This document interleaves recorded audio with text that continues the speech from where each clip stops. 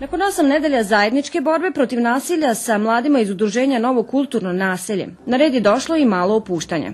Najtalentovaniji učenici učestvovali su u završnoj predstavi, a njihova pesma Volim naselje biće poručuju veliki hit. Najviše mi se dopalo to što smo uh, pisali pesmu, pisali sami tekst i sve i da mi se što smo se družili i mnogo zabavljali svo vreme. Bili smo zajedno i da sve može da se uradi ako se trudi. Najviše mi se dopalo kad smo pisali pesmu, jer su svi davali dobre ideje.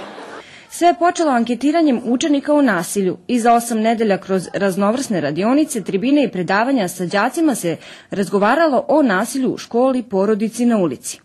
Iako im vanškolske aktivnosti nisu omiljene, u ovom projektu aktivno je učestvovalo oko 700 dece. Deca su bila fenomenalna. Na početku je to bilo malo zategnuto jer su imali osjećaj da sad mi njih nešto teramo i tako dalje, ali kako je vreme prolazilo i kako sve to postajalo sve kreativnije i sve šarenije, njima se to sve više dopadalo i stvarno se nadamo da ćemo uspeti da i sledeće godine održimo ovaj projekat, da još više proširimo i da dovedemo još da ga još više proširimo, dovedemo još predavača i da ovaj, što da ne, da se projekat jednog dana proširi na ostatak grada i na neke druge škole. Mladima iz udruženja Novo kulturno naselje veliku pomoć pružio je i školski pedagog, koji je sa decom radio tokom celokupne realizacije projekta ta predavanja nisu bila, i to nas je najviše u stvari obradolo, ta predavanja koja su bila ostvarena nisu bila ovaj, svedena na samo puko slušanje naših učenika.